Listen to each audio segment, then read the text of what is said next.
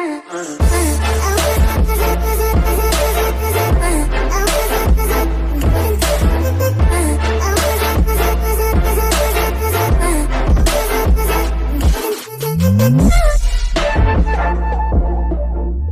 what's up, buddy? How are you today? I hope you're doing really well. Then in the comment section. So I am back with another interesting part of Glow Up Deku, and this is part two. If you haven't watched the first part, then you can check out our channel, and I will also provide the link in the description.